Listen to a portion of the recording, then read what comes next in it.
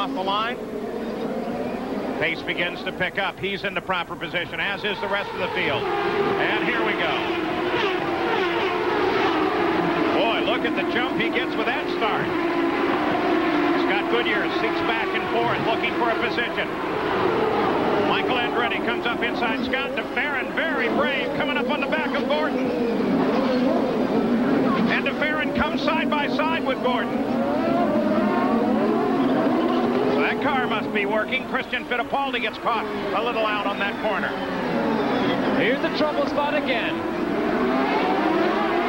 A little better for de Ferran this time. Al Jr. not nearly as aggressive.